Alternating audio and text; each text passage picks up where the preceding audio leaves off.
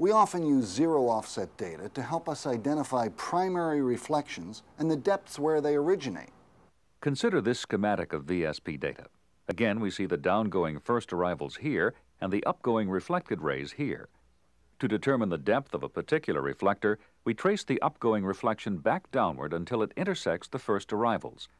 The point where the reflection intersects the first arrivals defines the depth where the reflection originated. Using a real data set, we again trace reflections back to their depth points. We can then correlate these depths to sonic or density logs run in the well, tying our surface seismic data to the subsurface geology. We can also use VSP data to estimate seismic processing parameters, like reflection coefficients.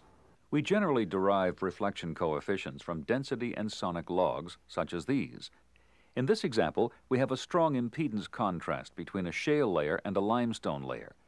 From these data, we would calculate a reflection coefficient of minus 0.18. We also recorded VSP data at these depths. This is the first arrival at depth 1, and this is the first arrival at depth 2. By comparing the relative amplitudes of these first arrivals, we would calculate a reflection coefficient of minus 0.15 for the shale limestone interface. The difference between the two calculated values is due to the fact that sonic and density tools measure rock properties in zones affected by drilling. VSP data, on the other hand, may be more representative of rock properties in the undisturbed zones away from the wellbore. Now let's compare the imaging capabilities of VSP and surface seismic data. We'll look at data from the Statfjord field in the North Sea. The VSP data were recorded in a deviated well, and the surface seismic data were part of a 3D survey. Here is a vertical slice from the 3D grid which follows the surface track of the deviated well. And here is the image constructed from the VSP data.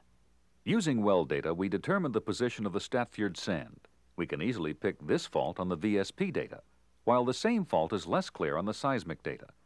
Additional features such as this scarp are more apparent on the VSP data as well. From this comparison, we can see that VSP data can provide a more detailed image of the structure and stratigraphy of an area. This improved resolution is invaluable when interpreting faults and siting development wells. Remember, however, that in this example we've combined zero offset data with a deviated wellbore. In vertical wells, zero offset data cannot provide lateral images of the subsurface. Let's consider one last use of zero offset data, that of making predictions ahead of the drill bit. Drillers and explorationists often want information about the geology below the bottom of the hole.